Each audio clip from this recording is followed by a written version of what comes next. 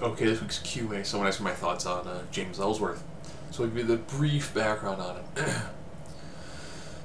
they were looking for a body to feed to Braun Strowman, and as they did their extras bit, he was asked by Arn Anderson to throw a punch, and he was like, you know, it's a pretty good punch, we're going to use it. Of course, he was backstage, they gave him his lines, and he was like, well, I, I've got a line I'm working on. Any man with two hands is a fighting chance. And they go, it's good. They came back quite a bit later and was like, you know what, that line you had? Use it. Here it is. Use the ring.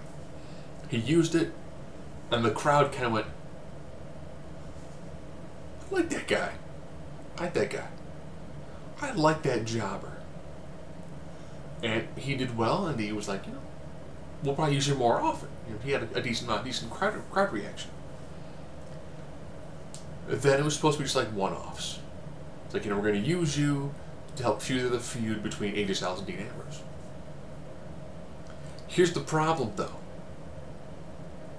The live crowd started getting really behind his hits, and they're like, ah! Ellsworth, Ellsworth, and pseudo Goldberg stand standoff. And I was like, okay.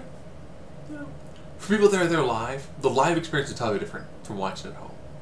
If you watch live, certain things that feel played out to the home audience don't, because you're there and you get swept up in the overall emotion of it.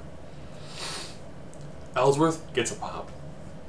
If you watch they were in Scotland, he got a wicked pop in that music hit.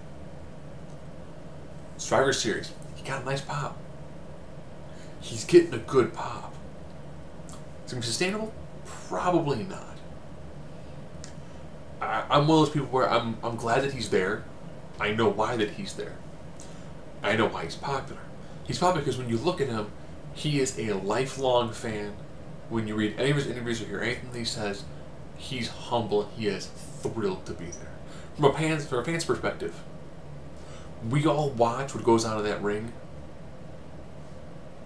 and we would love to be the people inside that ring. We're on the outside staring at the guy down there. Almost every single person who is in that crowd would love to be that guy in the ring. We look at Ellsworth, and dang it, he looks like he could be the guy sitting next to you. He's very unassuming. He's a tremendous underdog. Flip that around. John Cena's a professional wrestling fan. Huge fan. They show his older photos. That's him with the cardboard belt. But you know what? We don't we don't look like super soldier serum you know, Matt Damon. We don't look like that. We look like Ellsworth. Talking about the fan base. We look like Kevin Owens. Like CM Punk. Like Daniel Bryan. There's a collection of the wrestling fan that look and understand the underdog aspect. If you're a wrestling fan, you're automatically thought of, oh, it's fake, you're an idiot, why do you watch that stuff? It's garbage. We're already looked down upon. When the EU was trying to monetize their fan base, they got less money per fan than NASCAR. NASCAR has a higher valuation when it comes to commercials in the WWE universe. Think about NASCAR fans. From an advertiser, we're worth less than NASCAR fans. On average, not college educated. We're looked at like a bunch of idiots. So to see somebody who looks and feels like he's a guy from the crowd, like he's section, you know, 314, row H, seat 24, and he's in the ring with Braun Strowman. We get it, we get behind him. That's why it's let's go jobbers. That's why that's the chant. Is it gonna get played out? Oh yeah. It's totally gonna played out. His ceiling isn't very high. I think almost everyone is waiting for that moment when AJ Styles just obliterates him.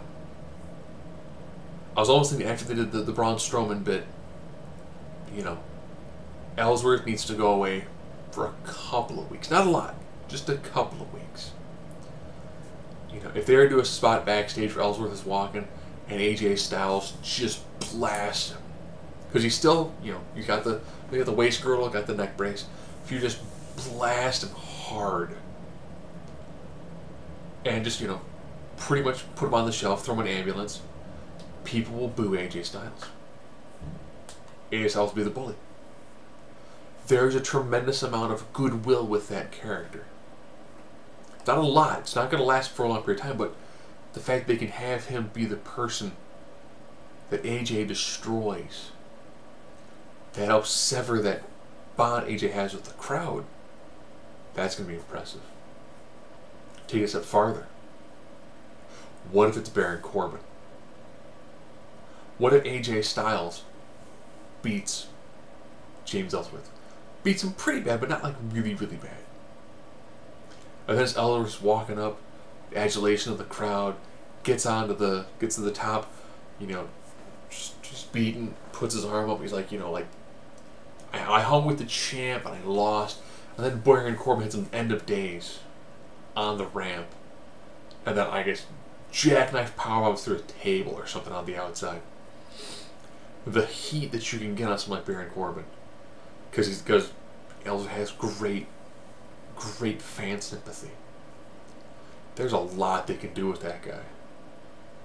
He is somebody that if your face is floundering and he's getting beaten down, you come down the ring and you save him. You get that goodwill of the fans. If you're a heel and you brutalize Ellsworth like horrendously, hit him with a ladder, put him through a table, powerbomb him through two chairs put this way so the backs are facing outward. There's a lot they can pull from him because that great connection he has with the audience because he looks like one of us. He sounds like one of us. But he's also a wrestler and promoter. So he's everybody's favorite indie darling. Has the IWC in some form kind of turn on him? That's the fickleness of of that that group think where it's we want to make somebody big, but the moment you choose to make them big, it takes it away from us, and therefore we can't like it. Um, I'm digging it currently. I do think that there is a tremendous shelf life on him. I do think he needs to get beaten down horribly by a, by a heel and then be taken off TV for not a long time. I'm thinking this is like two weeks from not being there. Just enough.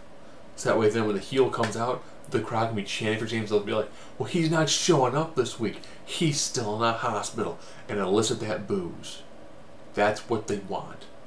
They want to get that heel, get that tremendous amount of heat from beating up the guy who's got that nice rapport with the crowd. And then whoever comes down to avenge Ellsworth beatdown, it gives them a little more lower face credibility. There's a lot they can do with him. Just don't overplay your handy. This is very much like fandangoing. It's going to hit moment, it's going to swell, and then it's going to fall away. Don't push it hard after it's swelled. Ride to the crest, then back off. Don't try to ride hard after it crests.